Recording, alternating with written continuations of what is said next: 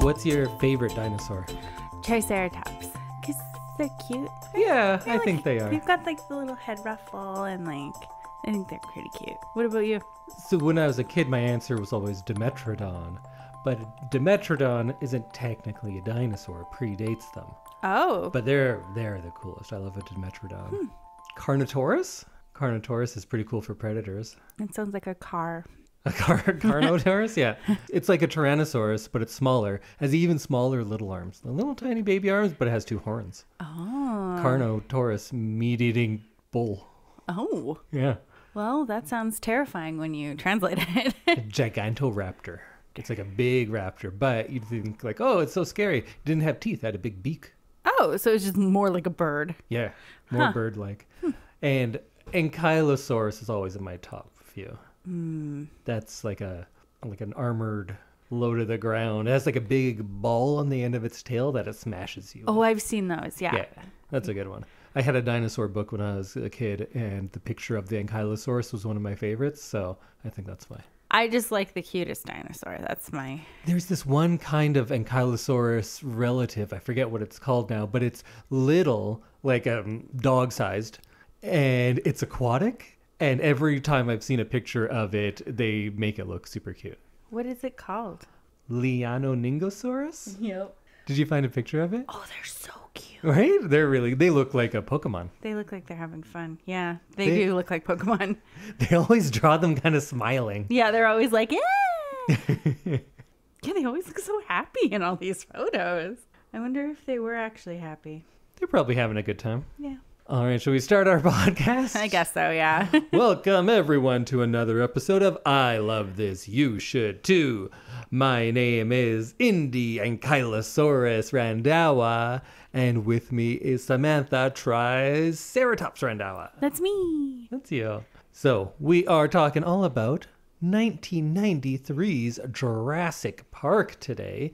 It's a movie that I really liked when I was a kid, a book I really liked when I was a kid, hmm. and something that Samantha, despite being born in the 80s, had never seen Yeah, until now. until now. Oh. That's what I missed out on not having older siblings.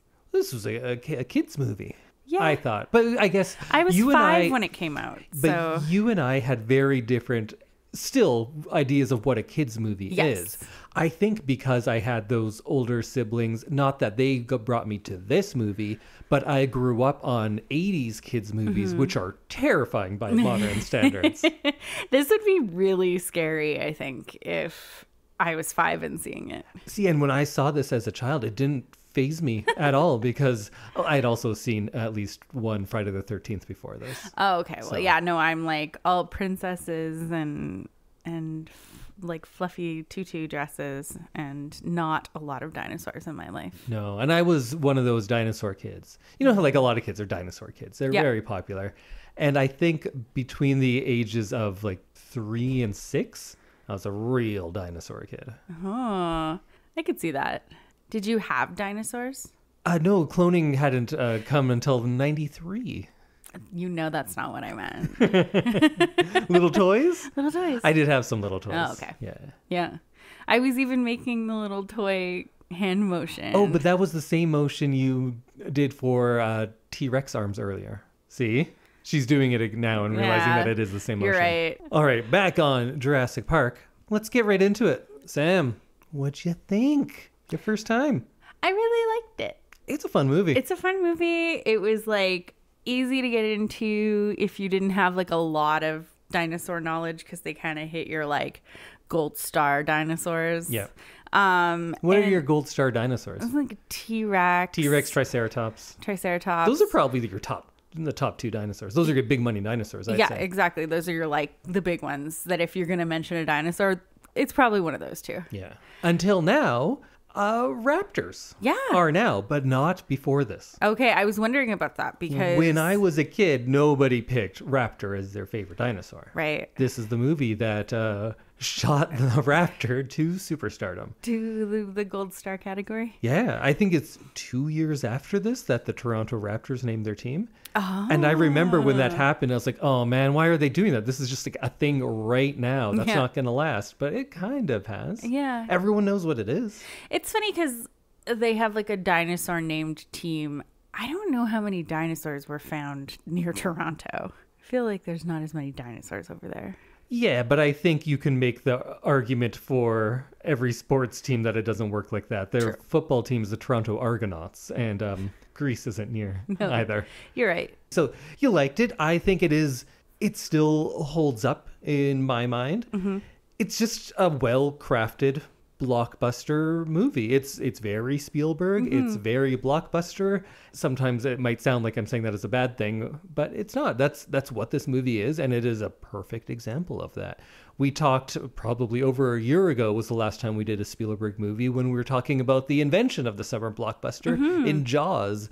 And this, not definitely not a sequel, but it follows in that line in so many ways. Just like Jaws took from several genres and kind of mashed them together to get this, Jurassic Park does that perhaps even better. I still might like Jaws more.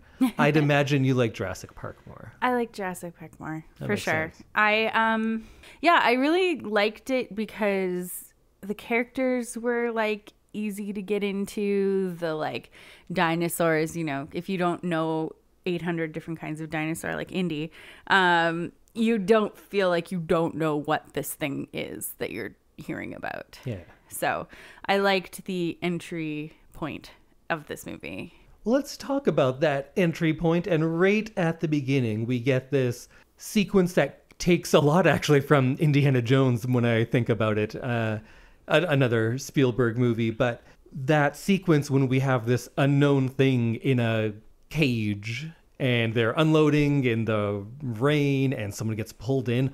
All of that stuff, I think, sets up what this movie is going to be very well. Mm-hmm. Yeah, you get kind of a feel for just how dangerous whatever it is in that cage is and how quickly it could go out of control.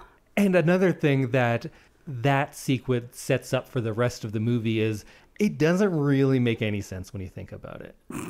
Why would the contraption that they have have all those people around it, but then it's still on wheels that you can knock off from the inside? Mm-hmm. Yeah, that you can like push back with. yeah. Yeah. And they have cattle prods, but they're standing like 30 feet away, some of them. Yeah. And how the person gets pulled in doesn't make any sense. Yeah. And where the eye of the, I assume, raptor is with that person doesn't make any sense either.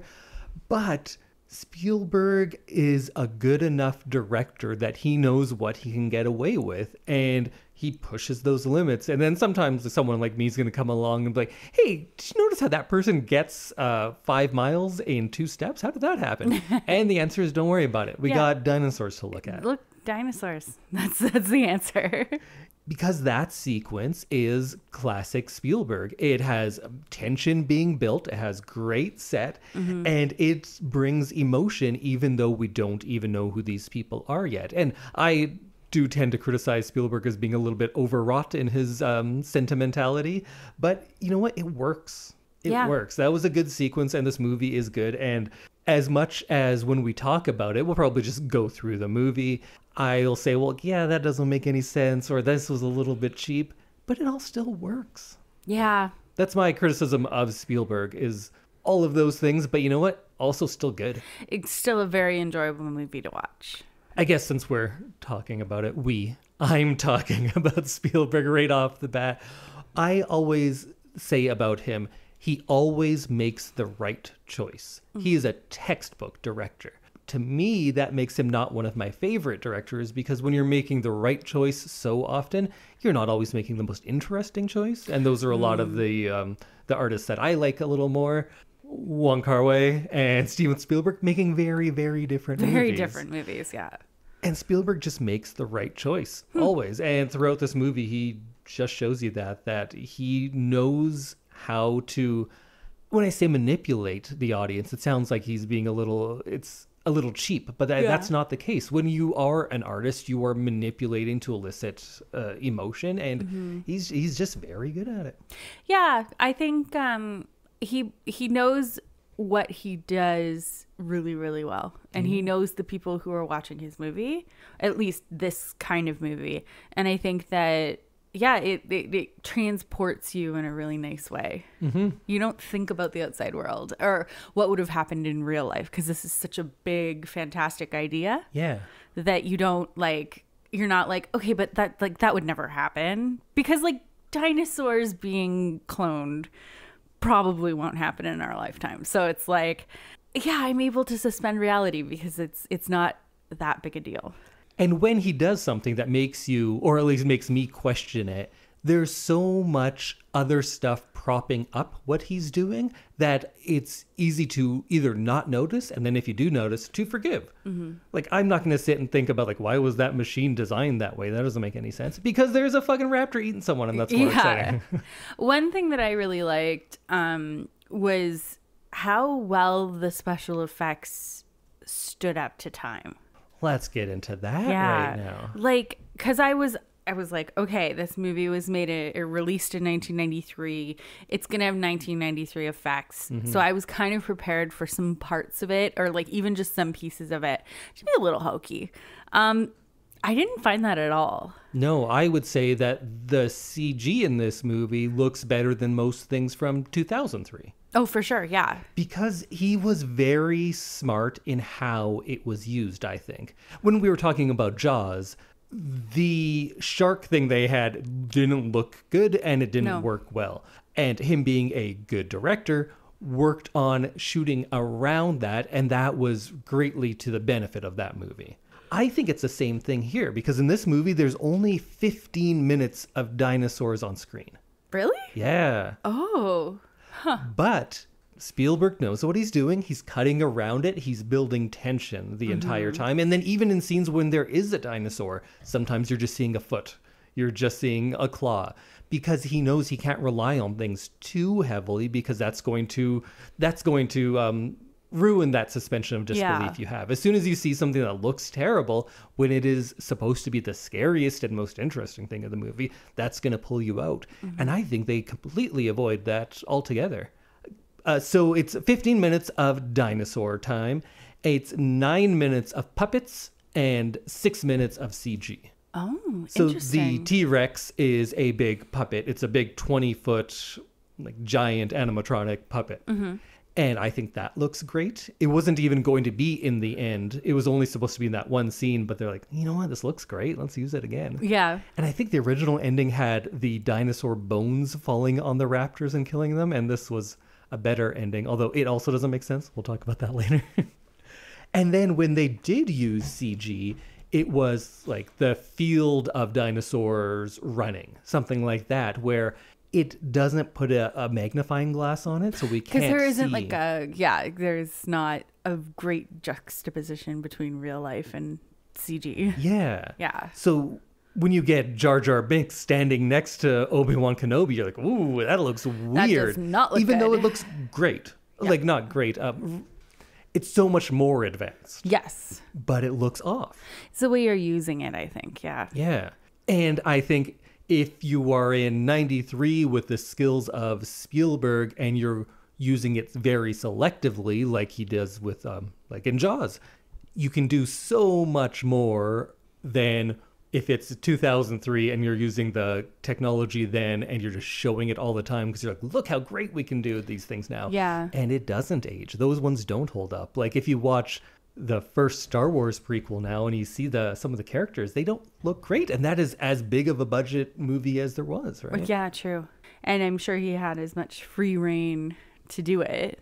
Well, that, I think that was the problem was George Lucas had too much free rein. Yeah. And in this, from what I hear, Spielberg wanted to do more, and a lot of different people were like, "No, no, no, rein it in." He wanted to create new dinosaurs. Oh, Like, what if it was crazier and had this and this and this? I And- think that would have taken away from this. Absolutely it Seriously, yeah. because it, it it's things that did exist, whether or not like they've you know figured some other things out about dinosaurs since 1993 but Yeah.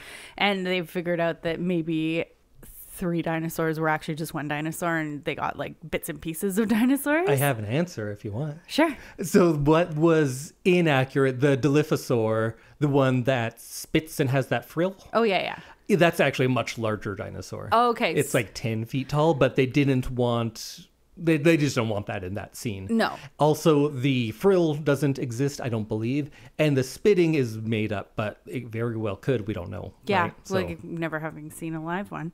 but that was uh, the spitting was in the book too. Oh, and I read the book last week. I reread it. I Oh couldn't yeah, I was find. gonna say. I couldn't find my old uh, grocery store paperback from when I was a child, but luckily I work at a library. So Um, yeah, I think if he had created new dinosaurs, it would have been too fantastical then. yeah, you already have dinosaurs. Like the coolest thing that you don't need we've to make never new ones. seen. and I think in those Jurassic World movies, they think they start doing that. oh, And the other thing is the size of the Velociraptor. Uh, Velociraptor is smaller, but then after this movie came out, they found a new species of raptor that's pretty much this size and looks like this. So Oh. they kind of predicted it. so it works out now. okay. Just like a, a Brontosaurus. A Brontosaurus isn't an actual dinosaur.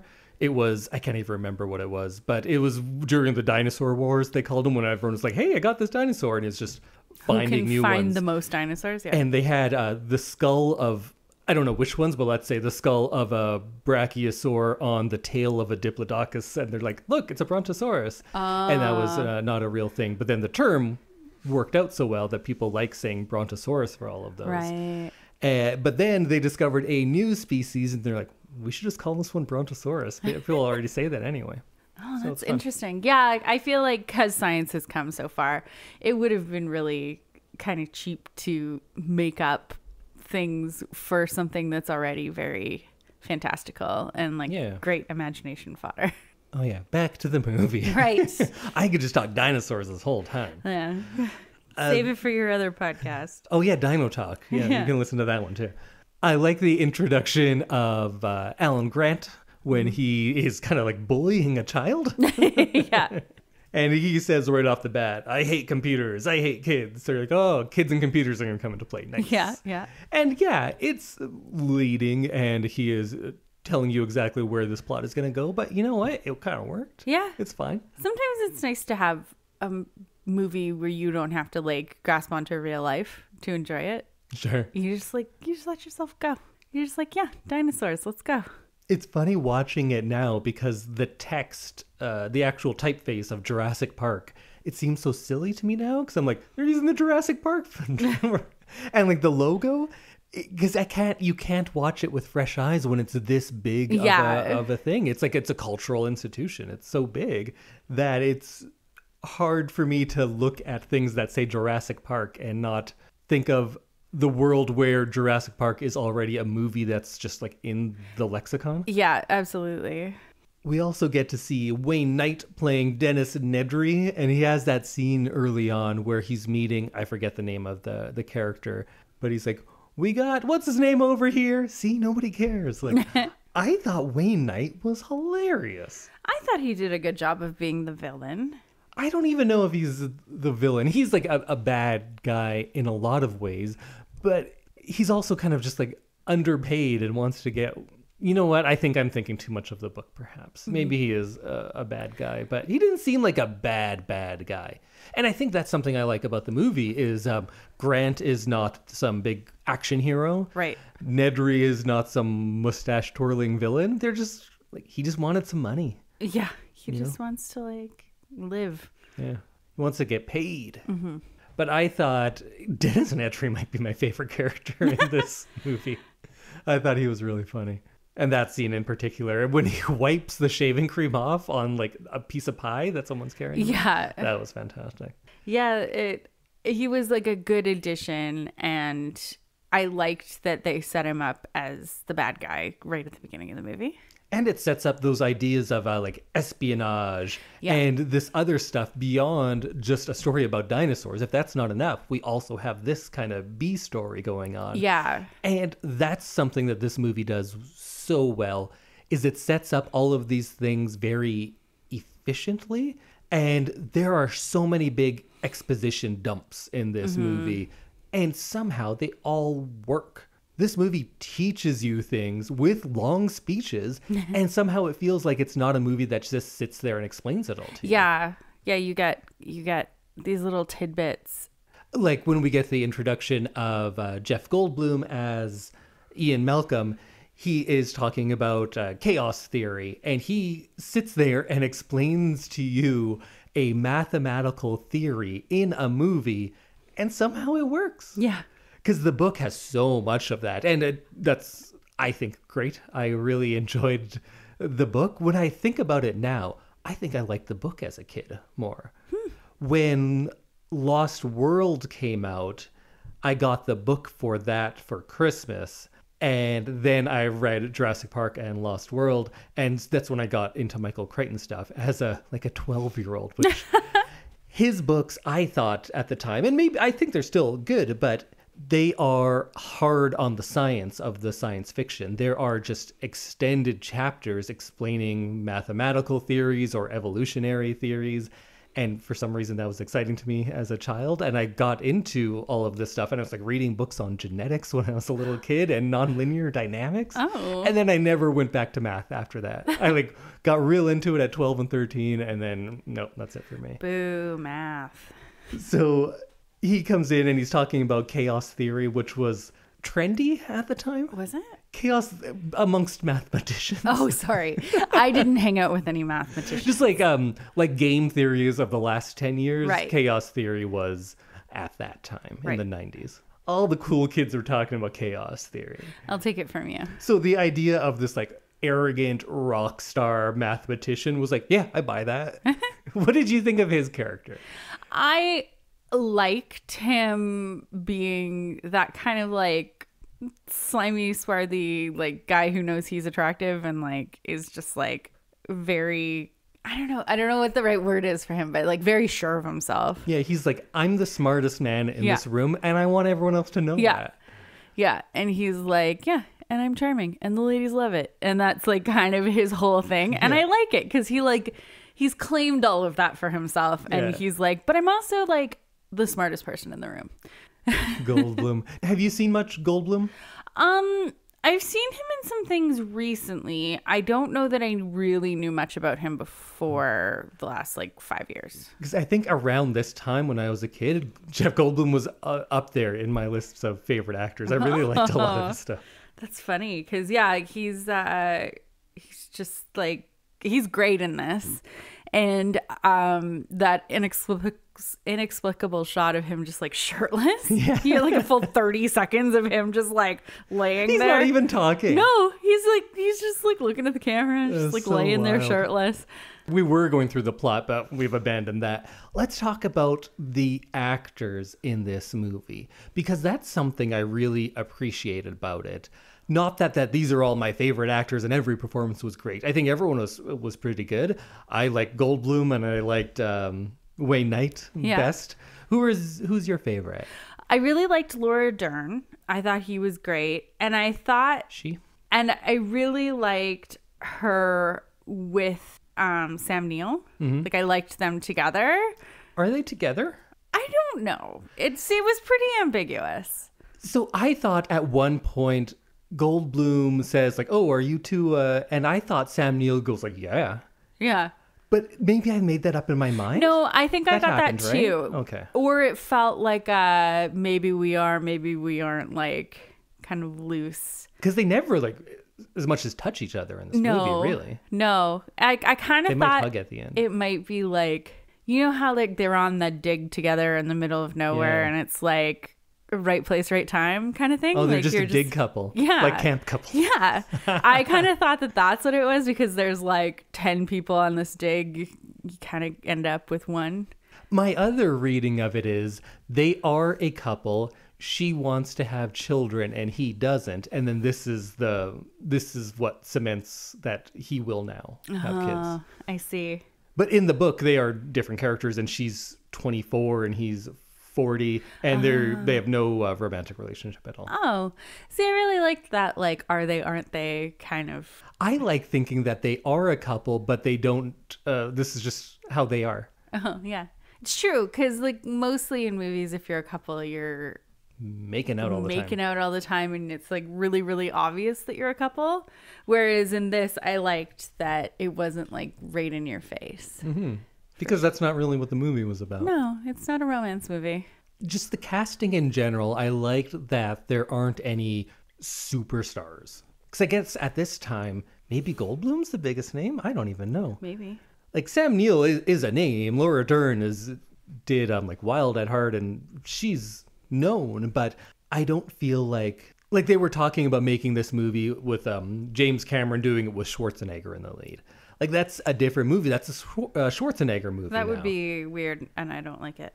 And I like that they didn't do that. I feel like every blockbuster now, you have to have an A-list cast that has already mm, done Proved multiple movies yeah. that have made a hundred million dollars at least, and probably have at least one Oscar nomination. Mm-hmm. You can't get just kind of the right person for the role always you have to get a name 1st Mm-hmm. and i think here they just went like you know what this guy kind of works Yeah, and i think they did i think I they all worked it.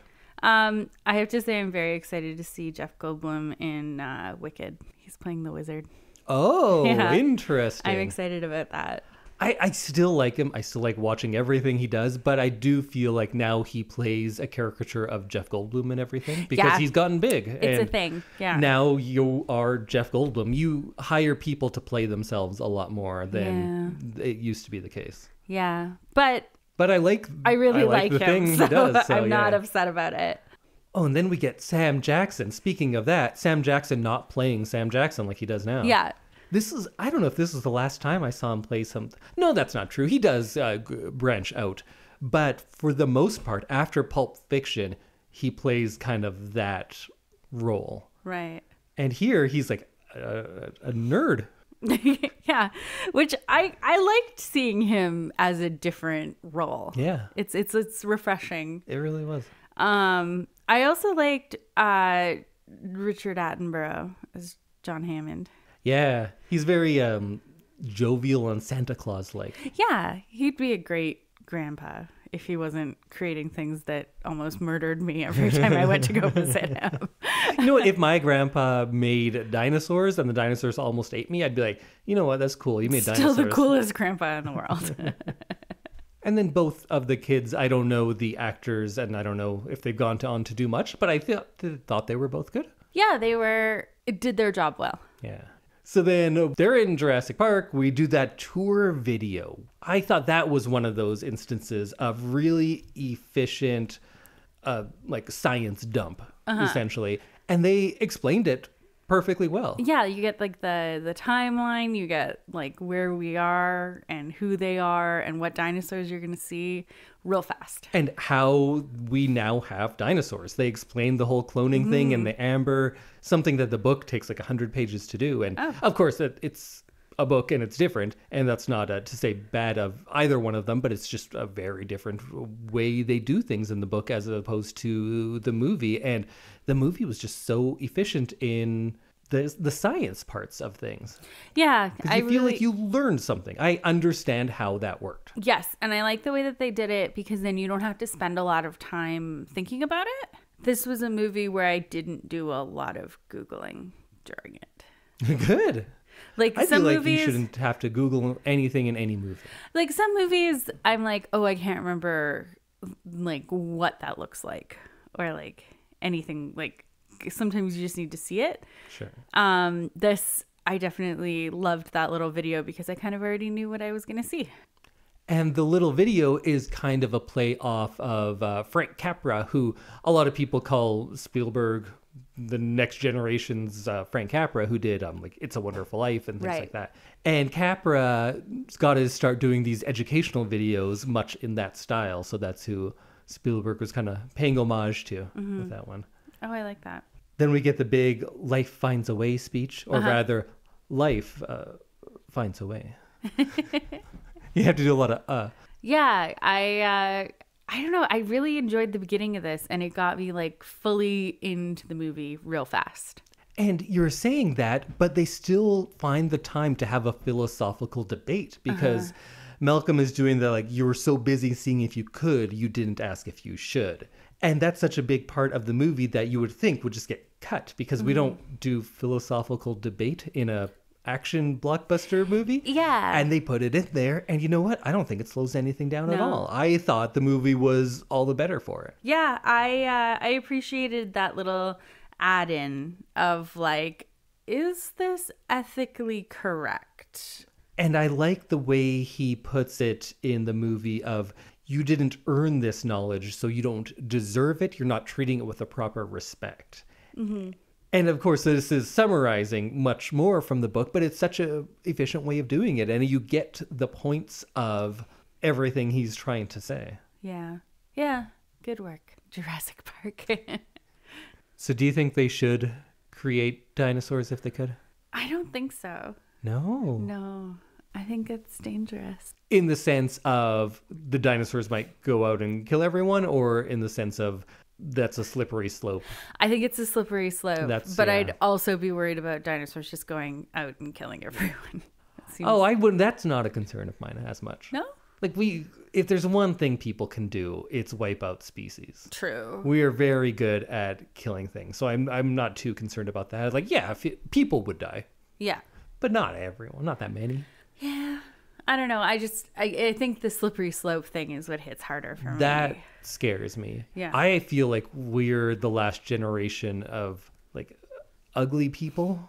Yeah. Already, you like, there's not many rich ugly people. And yeah, genetically unmodified people. Yeah.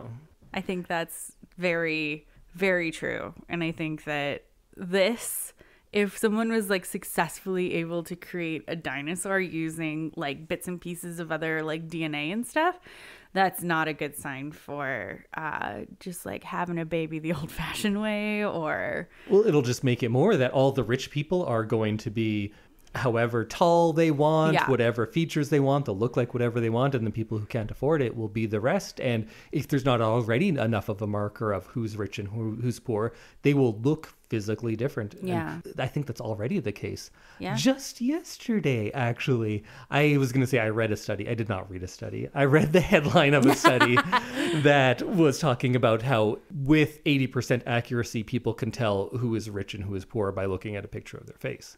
Because you ah. just take care of yourself in Yeah. a very different way. yeah, you've got access to things that normal people don't have access to. I feel like I'm in the last generation of, um, I have a gap between my two front teeth. Yeah. That's just not a thing anymore. No.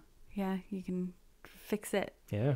I had my teeth fixed. Well, I guess we could have in my time as well. my time, way back then. way back in my time. I would just like to remind everyone that Indy and I are only five years apart.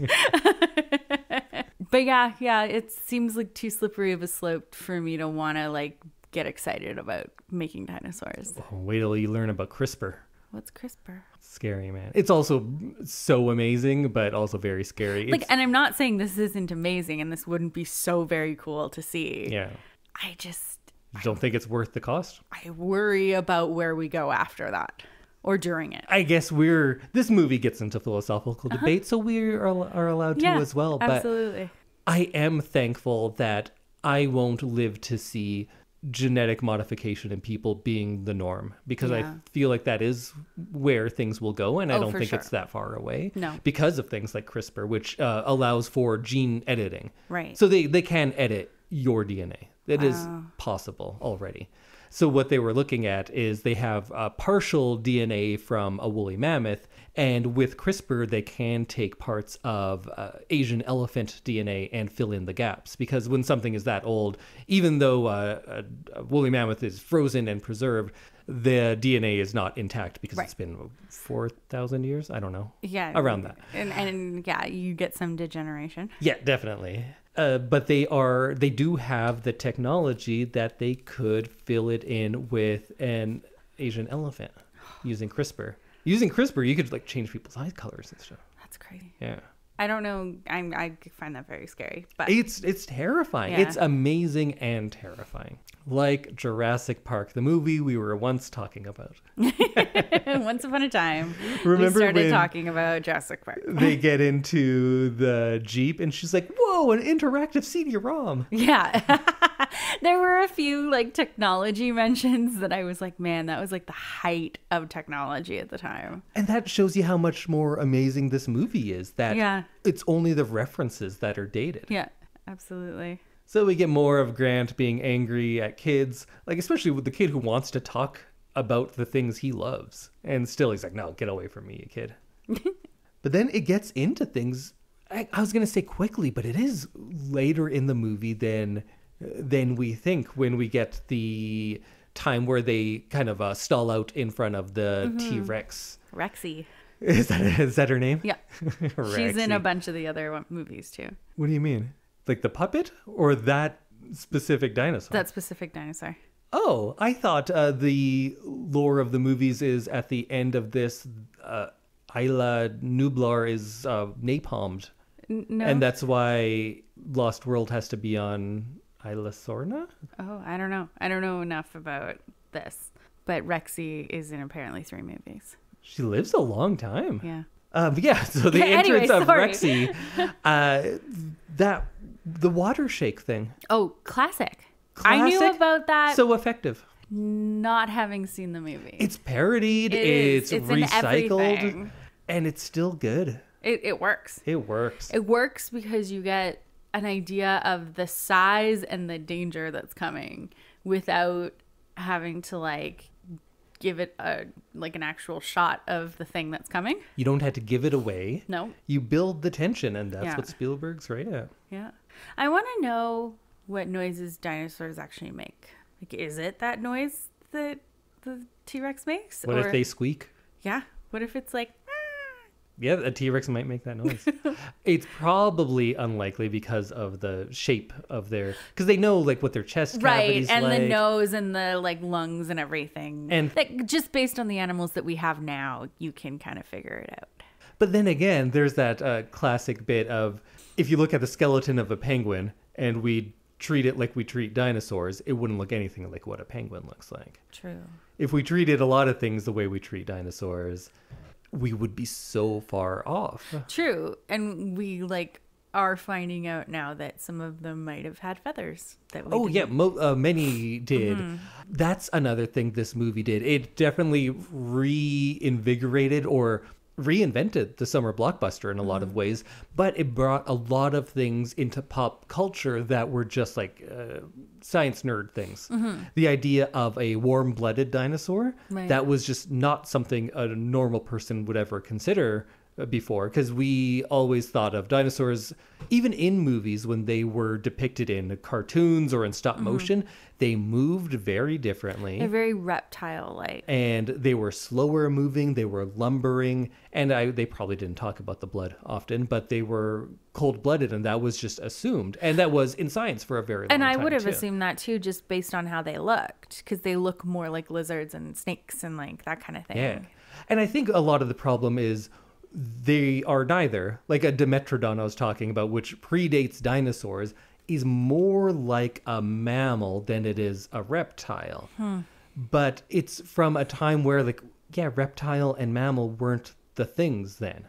This is too far back to put our uh, classifications on it. Right. And dinosaurs are kind of the same way.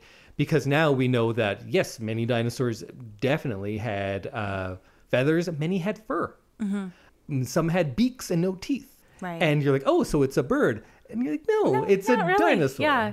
And of course, dinosaurs were around for so long that within the time they were around, these classifications changed because Right. we often forget about how long a dinosaur was around. Because a T Rex is closer to us today than a T Rex is to a Stegosaurus. whoa Like dinosaurs were around for a long time. that is wild to me We're closer to a Dilophosaurus than Dilophosaurus is to a raptor. Hmm. Yeah, because you kind of just assume it is like Jurassic Park and all of the dinosaurs are just there. Yeah, Right? Like- a lot of these dinosaurs didn't live at the same time Right. at all. They would and never not by met. like not by hundreds of years, but by millions Yeah. of years. Like you you really I guess I grew up thinking and maybe it is because of Jurassic Park even though I like didn't see it, but just the way that dinosaurs are talked about, Mm-hmm. it's like I don't think I ever really realized that most of those dinosaurs wouldn't have ever met. Really, it should be called Cretaceous Park. Most of the dinosaurs are from the Cretaceous period, but that doesn't sound as good. Okay, nerd. Oh yeah, but what I was saying, they this movie brought so many scientific theories that were usually just just for people who are really into that sort of thing into the mainstream and types of dinosaurs even. So so we were talking about the Rexy Rexy. Now that I know Yeah. her name, that T Rex is probably magic. Yeah. It warps a lot because it's at the fence and it puts its hand on the fence. And then it gets out, and you're like, oh, okay, that makes sense. But then when we go over the fence with the car, it's a 40 foot drop there. So that T Rex was floating, perhaps. Yeah, that's what I don't understand. There was a couple of times where I'm like, that's impossible. And then at the very end of the movie, I think like nobody notices this because it's again, it's just a well-crafted movie. But we do a pan around and we see the raptors who are converging on them in the kind of like the main hall. Mm-hmm.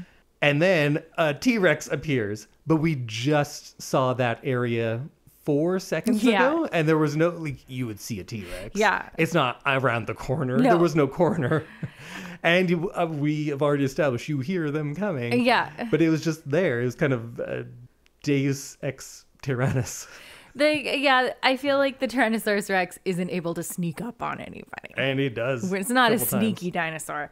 Um, but yeah, that was uh, something that you're like willing to forgive. There was also a couple moments where you're like, well, they couldn't have just appeared there because they're like, like, how did they get down into the Tyrannosaurus? Like Yeah. when the car falls It down. was a big drop, and the car had a lot of trouble getting there. But Ellie just walks there just, and like, then walk walks up. right back up. yeah. And then in they're just five up, seconds. Yeah. up again by the broken fence. And like, You know what? She's it magic. doesn't matter. Um, She's magic too. She's magic. And when it chases Malcolm into the bathroom, somehow it, he gets on top of her nose, and then she knocks down the building, except for the guy on a toilet who then gets chomped. He got so chomped. It's also another thing that uh, always bothers me in like this kind of movie and in zombie movies where they find the two halves of the guy. So like she didn't even eat him. There's Yeah. always like legs and arms. And the raptors too just kill people, but then don't eat them. Yeah. Because then they the bodies fall out in a scary way. Yeah. It should be like a eaten up corpse. It's like the goat. Yeah, the big leg falls like, down. I'm like, that's a goat leg is like where all the meat is sometimes. You'd think that she would eat that part. We were saying how the CG all looks very good. Two times where I thought things didn't look good were not the places you'd expect. It was the time when the T Rex was chasing the Jeep. And it's not the dinosaur that looks bad, it's that they are clearly on a green screen. And Malcolm in the back of the Jeep, I was like, well, that doesn't look right. And then also when uh, Grant and the kids are sitting in a tree, I was like, that's not a great tree. No. yeah, there was a few things that were very like obvious that they had been built by set designers. Yeah. But, But- if your biggest problem in this movie with all these dinosaurs is your tree looks bad, Yeah. that's pretty impressive. I feel like they weren't paying as much attention to that. But with that tree, one thing I really did love was that essentially a car chase going down the tree when the branches were breaking and it was chasing after them. That was That was very That was cool. something I hadn't seen Yeah. before. So then Goldblum is hurt, and we get the classic uh, bare-chested scene where it's other people talking, but then just a slow just push in him. on him, laying there. Like, yeah. And it's also kind of funny that he just lays down for the rest of the movie. Yeah. He doesn't like he's not doing much He's for most of the movie. Yeah. He's just laying down, being Jeff Goldblum. Oh, and spoiler for an old book. In the book, he dies. Oh, Yeah. we can't kill him off. But then they did a sequel, and in the Lost World, the sequel of the book as well, they say, like, oh, actually, he didn't forget about it. Even though, like, the omniscient narrator tells but that doesn't matter because he's back in the sequel. Yeah, he's uh been back for quite a few. I think he's in all of them. Really? Yeah. One scene I always remembered as a kid was when they are kind of, I don't know if rescued is the right word because there's still a lot more danger, but they finally get to eat at the visitor center and they're just loading up on ice cream. Yeah. And they don't really talk, they're just finally happy. Yeah. I loved that scene. Yeah. There's uh it's like a you're like, oh they're safe for now. like And then the raptors come. Yeah, the raptors seem like jerks. They really do. I do wish they kind of toned down that they are like villains. Yeah, because They they, are should- definitely the villain dinosaur. Even though the T Rex like literally ate somebody off Yeah. of a toilet, it's like the raptors are real jerks. they kind of go out of their way to not just eat, but to they're murderers Yeah. more than predators. Yeah, they seem like bloodthirsty for no reason. But I did love the scene with the two kids in the kitchen with the raptors. Mm-hmm. I thought that was great. The thing with the reflections and every time something drops and them running. Yeah. And that was um, raptor puppets with guys in them. Oh, really? Yeah, that's how they did that. That was the only scene that I kind of thought I didn't quite believe that they were real. Because of the footsteps. It was a little too fake looking for me. I don't know what it was. Like that was the only scene with the dinosaurs that I was like, I don't know. I don't know if I believe that. But it wasn't bad enough that I was like taken out of the world. Yeah, I liked that sequence a lot. What they were planning on doing before was doing it with stop motion before because this movie Spielberg learned that CGI existed. Oh, like he didn't know about it. Yeah, it was it's it was that new, right? So the plan was to do it with stop motion. Oh. And there ah. is a sequence you can watch it out there somewhere. Maybe it's on the just on the Blu-ray or maybe it's somewhere on YouTube, but you can see that scene with stop motion. Oh. Ooh, it looks it looks not good. Not good. Yeah. No. Huh. Interesting. Well, I'm glad they didn't go with stop motion then. Because the uh, the company Industrial Light and Magic at this era, I think they owned three computers because the special effects weren't about computers. You had to build stuff. That's what special Right. effects It's are. So and yeah. yeah, so much was just getting pioneered in this movie. And then in my notes, I have so few notes. my notes say kitchen scene was good, then the T Rex is magic, then they go home. That's all I got. the end. Which is kind of kind of how it goes. They do just kind of go home. yeah, they yeah, it's very like funny how the movie ends because it feels like you're like, "Oh, and now it's done." Yeah, they're off the island. Yeah. And He looks so sad when he's like looking back at the island though. Hammond? Yeah. Yeah. I I'm did like, this is his sad. life's work. Like, and I get it. He's walking away from something that like got out of control, but something that he like really, really wanted. hmm And yeah, I like, I get it. But yeah, I felt sad for him. I thought so as well. I thought that was like kind of a, a heartbreaking scene because in the movie he's not a, a, a villain. He wants this for the children of the world. Yeah. He's like a, a benevolent guy, if not naive. But yeah, it is it is sad. That's just the- felt like, oh, you're leaving like your best friend dinosaur is behind. yeah. well, he could stay if he wants, but I, I guess. he does. Like you get eaten then. Well, it's the end of the movie. We've we've left Jurassic Park now. Do you have anything else? Any last thoughts? Yeah, there's a few things that we never got a chance to talk about. I mentioned the books a few times, but just for a quick little thing for people, if you want to go read the book, I think the biggest change they make is that it is now for kids. The movie's more of a, a kids movie, and that doesn't mean it's uh, better or worse. That's just the the biggest change. The book was definitely adult, not in that it's well, it is much like bloodier, mm-hmm. but mostly in how much technical writing there is. Like Michael Crichton just does that a lot. He'll Right. write just chapters of explanations of non-narrative stuff where he just spends a long time explaining mathematical mathematical theories or evolutionary theories. Uh-huh. And I did like that they still managed to put that into the movie. Of course, not as much because it's a movie, but they still got that in there. I like that this movie kind of touches on the idea of um, exploitation for profit, and like they bring in that lawyer character to kind of exemplify it. But Hammond does it too, but it's kind of fun with him. Yeah.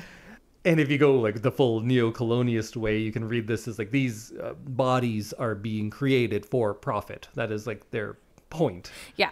And the people who die, when you look at it, is also kind of like you get a um, a migrant worker, you get a black guy, you get a fat guy, and you get the one guy with a foreign accent. Yeah. Those are kind of the people that die in this movie, which is also like, yeah, I guess that's uh, that's not great. Uh, Yeah, that's not a great look. I can't remember which movie it is. It might be Jurassic World, but I think in the first three Jurassic Park movies, no women are killed by dinosaurs. No women die. Oh. So then in the movie I'm thinking of, which was not very good, I think it was Jurassic Planet? World. Jurassic World. uh, they just go full out and women are just brutalized for no reason by What? dinosaurs. The dinosaurs are just chomping them down. Like a woman will be like, "Hey kids, don't do that." Like, here's your comeuppance, and a dinosaur tears her apart. And like a woman will like burn cookies, like, "Here's what you get," and they just kind of go the other way after giving women a, a pass before that, which I thought was kind of funny. That's so funny. Yeah, they really doubled down on Yeah. it. They were like, "Oh wait, I think someone pointed out, like, "Hey, do you know women never die in this movies?" so then they're like, "Wait a little, wait till you see what I got." just you wait." But I think the thing I like about this the best is the combination of genres. Because when we talk about genre film, if I just say, oh, I'm going to go see a movie, it means one thing. But if it's a horror movie, a sci fi movie, it means something else. So those are like genre films because you wouldn't just call uh, Halloween just a movie. You usually people usually say a horror movie. So I love how it blends so many different uh, genre films. Like you have the sci-fi element, and I think people don't often think of Jurassic Park as a science fiction movie, but it is. It is, oh, for sure. Definitely is. So much so that they spend so much time just straight up explaining genetics to you. That, Yeah. That's a sci-fi movie, and they they use that to great effect. And then sometimes it's just a straight up horror movie because it borrows a lot of pacing from 80s slasher movies. Hmm. If you look at it, and I might I might be going too far. I think the setup and pacing of this movie is very similar to the 79 Halloween. oh, Early on, we set up this um, emotionless killing machine, and it's present, but it's not going to come out until um, an hour into the movie, right? And we set them up early on so you have this tension building. You know what's going to happen at some point, right? But it's just a matter of getting there. And then when it happens, all hell breaks loose. So I think it borrows a lot from horror movies in that respect. But then the action adventure element, specifically action adventure kids movies, you get your um, white man patriarch who, be, who grows into be a hero. And I'm not saying that like, oh, another white man, but I'm saying he, this kind of unassuming character, takes on that role of those classic adventure movies. Like, there's a lot of King Kong in here too yeah, I could see that. um, in those doors and things, you can tell that Spielberg loved uh, King Kong and the 1925, a really old movie called uh, The Lost World. Not his Lost World, which would come out a few years after this, Ah. but he's taking from all of these different genres because he's he's a student of film and he's picking what works for him and combining them all together and giving you this big mishmash of horror, sci-fi, action, adventure, and just making a blockbuster out of it. Yeah, you did a good job. That was that was very concise. Yeah, I like this movie as a precursor to so many other movies. I mean, I said at the beginning like I didn't see this as a child.